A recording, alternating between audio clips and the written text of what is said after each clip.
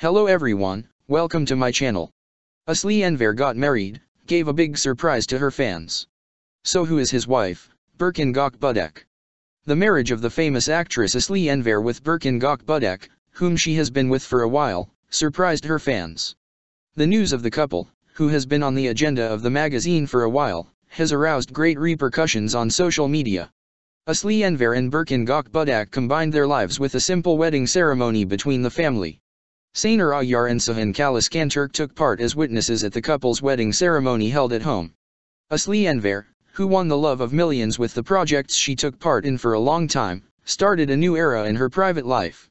The actor's wife, Birkin Gökbudak, is known as a business person.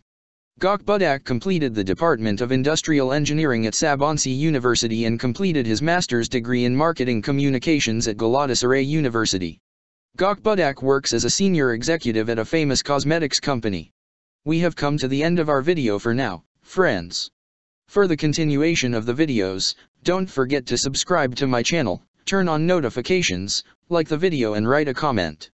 Everything is for you guys. Goodbye.